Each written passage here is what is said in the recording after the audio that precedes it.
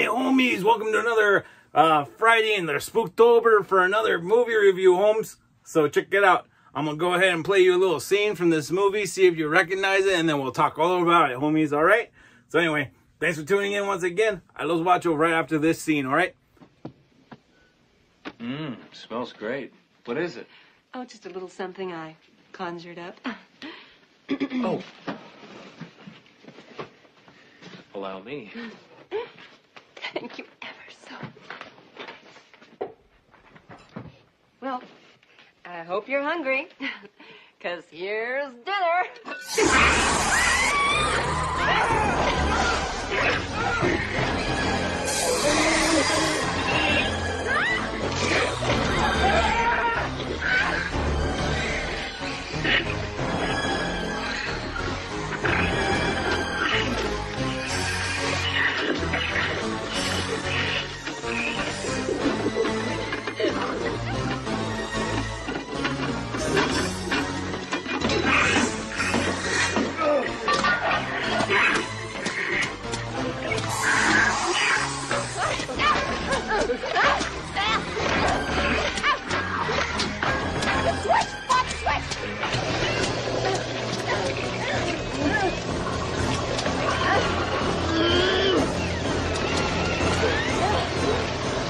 What you guys think of that movie, Holmes? Or that scene? So obviously we're talking about Elvira, Mistress of the Dark from 1988, directed by James Signo- Signorelli, starring uh, Cassandra Peterson as the titular Elvira. Once again, you know, take goes to my uh, obsession with the redheads and uh, goth girls. You know, it's all in one. You can't tell she's a redhead, but normally, you know, she's not wearing her cool wig. She's a redhead lady, and she's also beautiful even to this day, Holmes.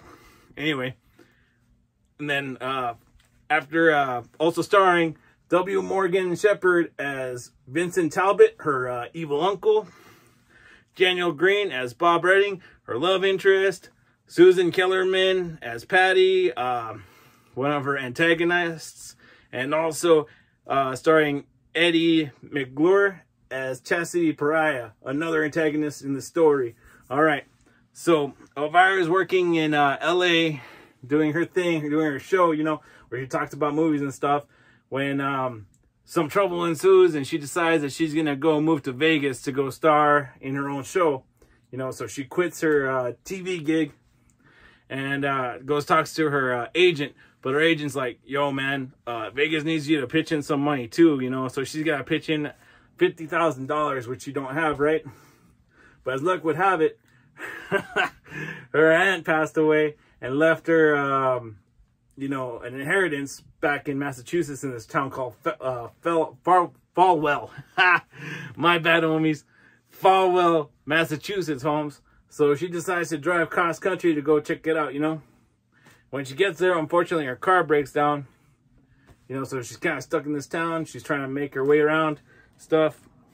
And uh, so she goes to uh, talk to the lawyers about the inheritance, you know. It turns out that she's got a house but and a cookbook, and that's about it, right? But this cookbook ain't no normal, ordinary cookbook, as you've seen from the scene, homies. She uh, she inherited a magic book. Turns out that she's from a long line of uh, witches or whatnot, you know. And she needs to protect the book away from her uncle, Vincent Talbot, who wants to use it to become a very powerful and evil sorcerer, you know. So it's just a real fun story. You know, it's very 80s. Um, you know, they uh, focus a lot on uh, Elvira, if you know what I mean, Holmes. But anyway, it's definitely worth a watch, homies. So you guys should check out this movie. Um, whenever you get a chance, uh, I think you can rent it from like um, Prime. it's the only place I could find it. I think there might be a free one on um, YouTube, but sometimes the YouTube videos are not all that great, you know, because they'll be like in a little tiny box, like way over here or something like that, you know. So, you know, if you want to watch it, you know, I definitely would check it out on uh, Prime, you know, because you can get in HD. Anyway, thanks for tuning in, guys. I los watcho. Um, you know, don't forget to leave me a like, drop me a comment, uh, share this with your friends because sharing is caring. And um, I los watcho, homes. Thanks for tuning in. Feed me, homies.